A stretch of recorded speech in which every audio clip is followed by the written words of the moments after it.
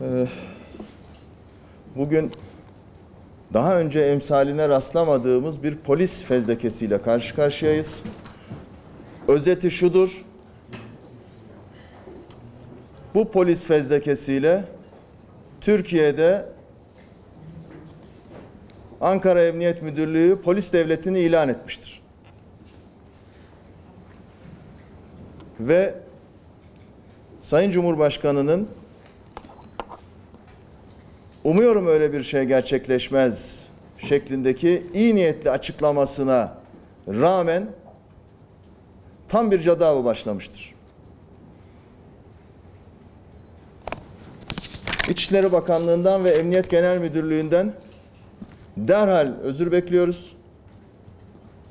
Ve bu skandal raporu yazanların da adli ve idari olarak en ağır şekilde cezalandırılmasının takipçisi olacağız.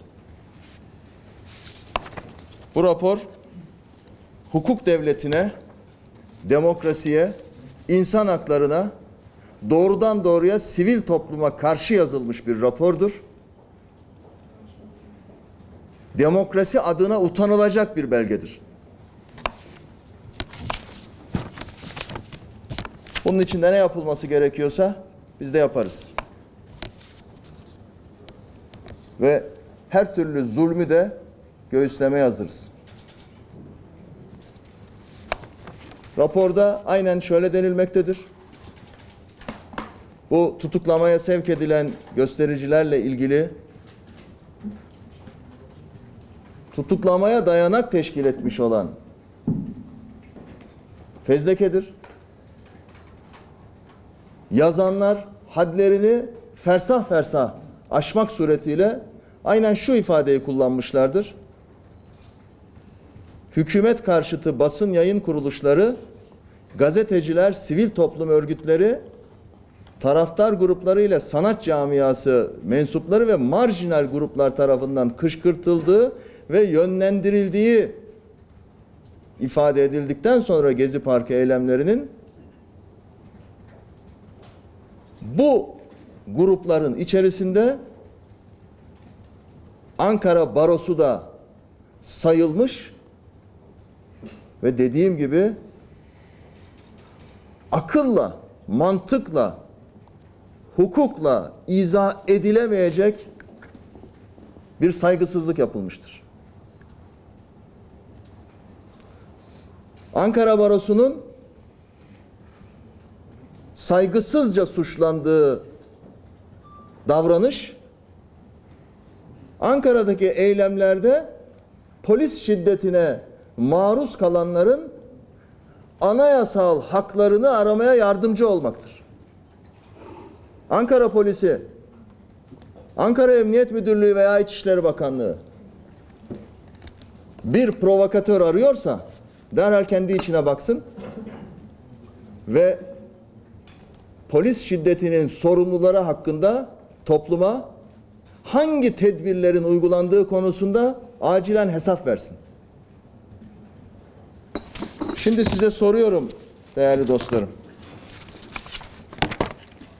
Raporda iddia edildiği gibi sözde polis şiddeti acaba şurada gözü çıkarılmış olan avukatın başına gelen midir? Bunu Barolar Birliği mi yapmıştır, Ankara Barosu mu veya bir başka baro mu? Veya çenesi tellerle bağlanmış olan, boyun kemiği yediği coplarla kırılmış olan bu meslektaşımızı bu hale getiren barolar mıdır? Yoksa Ankara Emniyetine mensup polisler midir? Hala sözde polis şiddeti diye ispatlı, ayan beyan dünyanın kabul ettiği polis şiddetini görmezden gelip mağdurların anayasal haklarını aramaya kanunen aramaya yardımcı olmaya kanunen yükümlü olan baroları suçlamaya kalkışmak en hafif anlatımıyla haddini bilmezliktir.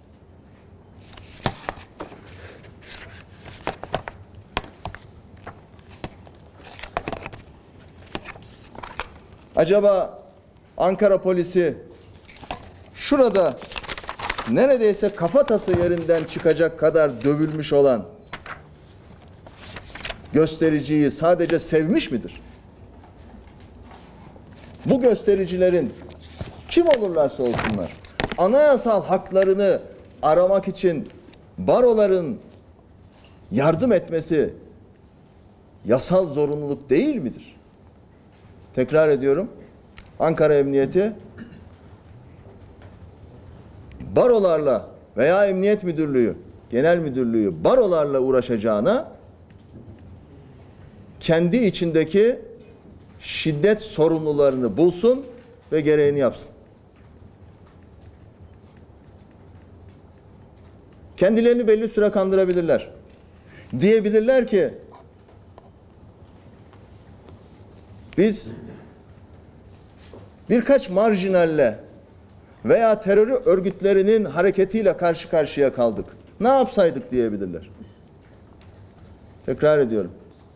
2 milyon kişinin meydanlara çıktığı bir olayda eğer bu topluluk şiddet uygulasaydı taş üstünde taş kalmazdı.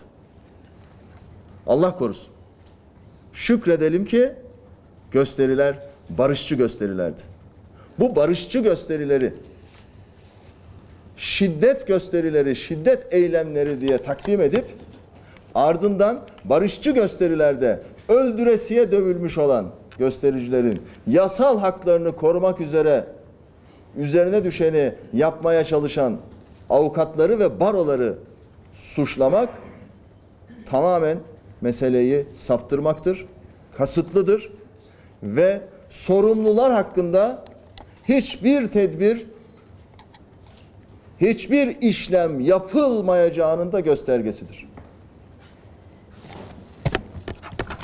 Biz özetle bu polis fezlekesini yazanlar her kim ise onlar hakkında derhal en etkili adli ve idari soruşturmaların başlamasını talep ediyoruz, takip ediyoruz.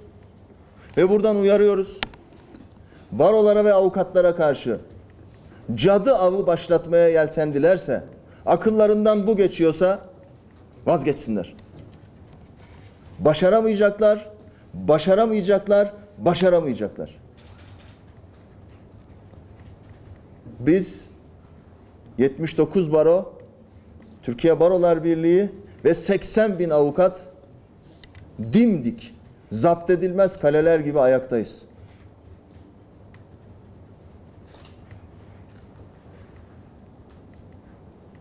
İçişleri Bakanı'ndan ve Emniyet Genel Müdürü'nden en hızlı şekilde özür bekliyoruz. Ve elbette yasal olarak da gereğinin yapılmasını takip edeceğiz.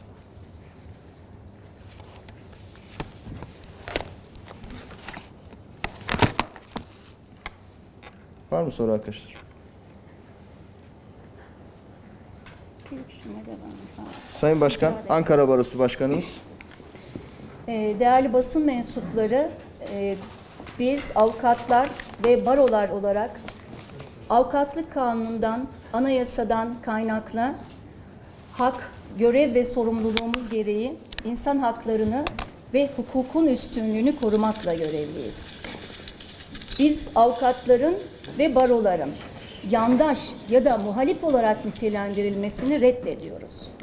Çünkü bizler cübbelerimizi giydiğimiz anda mesleğimizi icra ederken, baro yönetimlerinde baroları yönetirken e, bütün siyasi ve ideolojik görüşlerimizden sıyrılarak taraf olduğumuz insan hakları ve hukukun üstünlüğü anlamında görevimizi icra ederiz. Bu bakımdan e, bu gezi sürecinde Ankara'da yaşanan olaylarda hukuk devleti çerçevesindeki görevlerimizi layığıyla yerine getirdik.